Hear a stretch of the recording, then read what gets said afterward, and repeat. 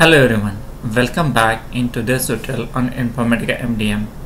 Today's tutorial we are going to see how to delete a record or multiple records from MDM Hub using SIF web service or SIF API. We know that when we install Informatica MDM, we also get the granular web service generated. Of course, we have to go to the SIF manager in MDM Hub to generate it it will give us it will give us actually the endpoint URL and using the endpoint URL and the WSDL definition we can generate the the SOAP UI project. So this is a simple SOAP UI project we created. Inside that there is a uh, batch called as execute batch delete. So you can by default it will create one request. Other uh, uh, if you want a multiple request you have to just right click and create a new request so it will generate here. The request will look like simple. So this is a delete uh, this is a delete web service or delete operation. It requires username password ORS ID the other uh, component if you are not using security payload you can ignore that you can remove that. If you are not using synchronous uh, calls you can ignore this also. But the important thing is uh, this table name. So what is the table name? What is the source table name? So for example this table name is a base object of which we are going to delete the records.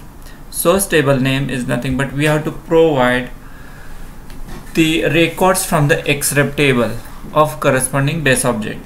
So what this table might contain? This table requires at least one column that is row id xref or we need to have the pk source and source system these two columns.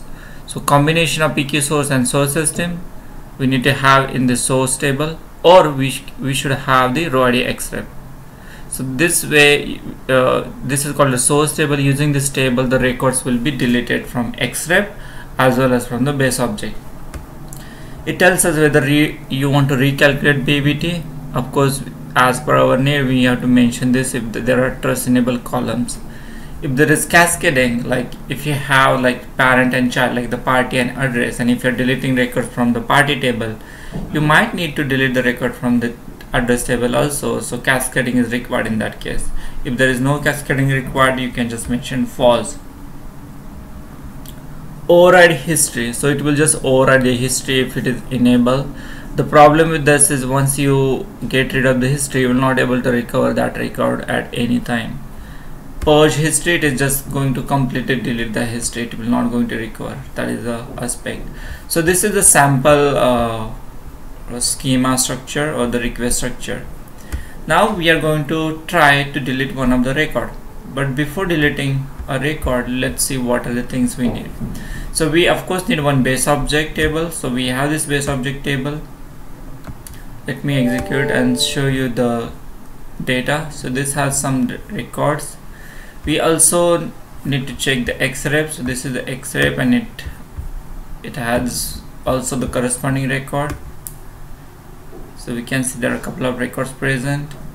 What we'll do uh, let's let me draw first because I already created so I'm just dropping this. Now what we'll do we'll execute this query. So what this query is we have to create a table cbo party xref deletion or delete for deleting the record. This is like the source table in the request.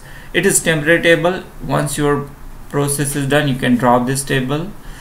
This table is get created with the um, column name row id xref which is coming from the xref so this is going to select the row id xref and I'm going to pull just one record. So if you run this query it will just pull one record. Let me show you that. So I can say only one and that ID is one. Now I'm going to execute this create statement. Just select it and at the top there is a run script command uh, button is there. Just click that and this will run the script and table CBO party xref del created in order to verify the records in this delete table just run this and see uh, yes the row id xref is present and value is 1 we as I mentioned earlier at least we need row id xref column with the corresponding value or we should have the pk source and the row id system columns in order to achieve the deletion. So now we see that there is a data in the delete table. We'll see in the view party uh, first of all we'll see the bo xref what is the row id xref uh, what are the column corresponding to row id xref 1 so we can set the pk source is 9003 and row id object is 1 so if you go into base object and run this query you will get the record. So this is the record present in the base object. Now we got the record and let me show you one more thing with row id xref there is only one record back because that is the unique column in the xref so row id xref is one. That is only one column. And the record has the party name as a den HAUL1 something like that. So what we are going to do we'll exit our API and we'll see whether this record get deleted from xref as well as from base objects. Now if I run the row id object 1 it is going to delete this record also so I'm going to open this OPI tool and I already prepared request. It as a username password. The ORS ID table name is base object name. It's a CBO party. Source table is CBO party xref deletion. You can give any name. There is no restriction.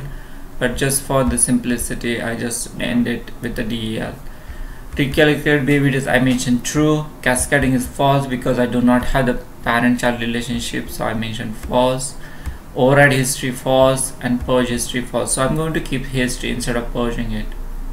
So you have to just prepare this query and just execute.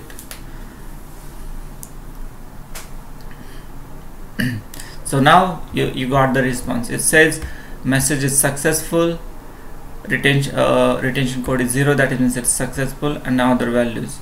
So one record got deleted from xref as well as from base object so you are getting this information. Now how can you go back and check the database? So i will go back and will first verify xref whether the record present with row id xref 1 and I, I get the zero record. That means the record is deleted. Even if I check in the base object the record is also deleted from there. So this is the way we can delete the record now assume that you have like thousands of record to delete? Can you do that? Yes we can do that. We just deleted one record. Suppose assume that we have to delete uh, four record uh, three records. So I'll just mention for here. You can use the equal to also the condition. I'll just drop this and recreate. It's not required to recreate always um, but in, in your case you can just reinsert but the existing record you have to keep somewhere like backup or like completed records. So I just ran this create statement. Let's see how many records present in delete section or delete table so we have the four record two three four. So I'll just check here. In I'm going to write an inquiry. So 2 3 and 4 are the row id xref where the actual data is present. So I'm going to execute it. And I'll see the records so Tom Mary and Mary 1 so these are the uh, records present. And the row id objects are 2 3 4 again. So I'll just see here row id object in 2 3 and 4 so these uh, row id xref and row id objects are matching but this is not the always the same case uh, it might vary sometimes. So there are some records in the base objects also. So I executed first step is execute this deletion uh, table and populate that table and verify the records are present in the XREF and bo and then execute this queries. So we'll see what will happen. So I'm just executing so now we can see there are three records got deleted from xref three records deleted from base object. So it is giving some uh, information also how many records you are processing. Again you can go back and check. You'll row id xref with the 2 3 4 you will not see but we'll see the other records. Now you can see the row id xref 2 3 4 are not present. That means those are deleted. Also i'm going to check the row object 2 3 4 and this record also not present in the base object. That means it is successfully deleted. So by this way actually you can delete the record. Now what will happen uh, suppose you have 5 million sub record which you want to delete. You will get the timeout error. So, so in order to fix such a timeout error what you have to do is go to the file go to the preferences it will take us to another screen. And use this HTTP setting on the left hand side. You can have the multiple settings like proxy setting SSL WSDL UI we are not worried about all those settings but take for the HTTP because that is the request it is sent through the SIF call. Now here you can see a couple of properties such as header or the th chunking threshold or bind address socket timeout. So out of this the socket timeout is important that is in millisecond. Put some value with higher like something like this so that your request will not fail. Rather it will continue to execute. So your SOAP UI will not show like it has a problem. It, it will not uh, internally behind the scene your request might be running but on SOAP screen you will see the timeout. So you will not get the response on your uh, in your UI so in order to avoid such cases mention the socket timeout with a higher value. It will just keep your SOAP working or running and once the process is completed and if it falls within that timeout then it will it will it will give you the more proper response. In normal real time it takes like around uh, 10 to 15 minutes to process 1 million record but it depends on your environment also. But that is an on an average value. Uh, you can try from your end. If you have any questions or queries you can definitely mention in the comment section of video. Another thing the all the details which we are discussing here and also details about the API and the sample are also available on my blog so you can check out my blog. The blog information is mentioned here. Thank you again. Have a nice time